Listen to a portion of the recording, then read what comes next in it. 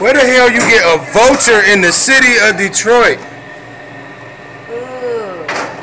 Somebody around here dead or something. Big ass vulture trying to get in Subway.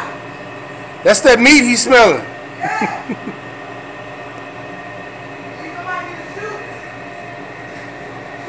oh my god. Oh my god. Big ass bird. Where the hell you get a vulture at in the city of Detroit?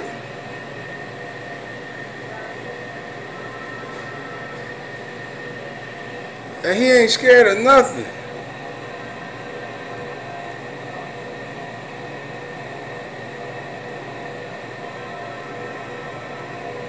I ain't never seen a vulture in the city.